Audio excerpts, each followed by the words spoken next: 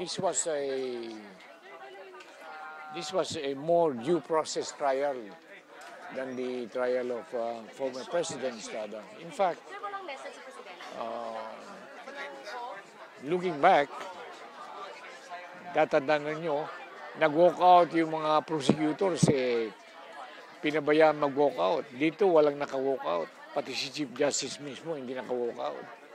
Kanya alam mo, ano yun eh, yeah, talagang, yeah, you have to credit the Senate President for, uh, you know, for being an able, impartial, and uh, effective presiding officer.